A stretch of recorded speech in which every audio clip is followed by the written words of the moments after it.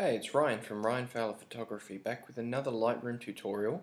And just quickly I'm going to show you how to export your photo like this one I've got here with a watermark in you know whatever if you want it in the corners uh, the center wherever you wherever you'd like a watermark um, you can put one there. So all you do is open your image uh, I'm just in the develop module and I'll just click file export as you normally would and then uh, you've got your name, got the name, um, all that sort of stuff, all your basic stuff that you normally do. But then down here, you've got watermark. And all you do is simply tick it on or off and choose a watermark that you've got. So if you do need to add a new one, simply go to Edit Watermarks.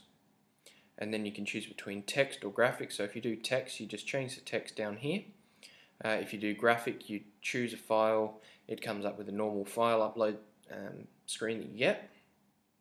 So I've got my little logo down here that I've already done and you can change the proportion of it, you can make it bigger so you're either using that slider or these arrows, it's up to you. And I'm going to make mine about 17 and then here you can choose the point that you want. So obviously so you can see here you've got nine points. You can change it between anywhere you want and then simply click save. That will come up with a new preset and um, all you do is just select that watermark. So I've already got mine saved so um, normally you just type it in click create. In this case I'm going to click cancel because I've already saved mine. Um, I've got two different ones.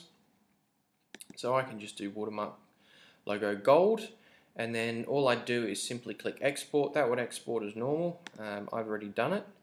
So once it does get exported you've got um, your image.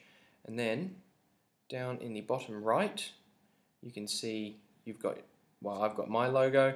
Yours would be anywhere that you've put it on that anchor point uh, when you chose where the watermark goes. So you can see exactly the same size everything like that. If you do need to make uh, like a signature or something like that you can use Photoshop and just do a, a transparent frame by you know 500 pixels wide by 300 pixels high and you could import that as an image.